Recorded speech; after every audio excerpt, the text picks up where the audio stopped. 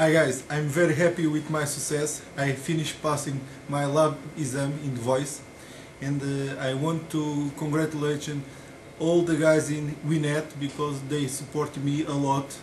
I'm, without them I cannot pass the exam. Thank you very much. Ciao.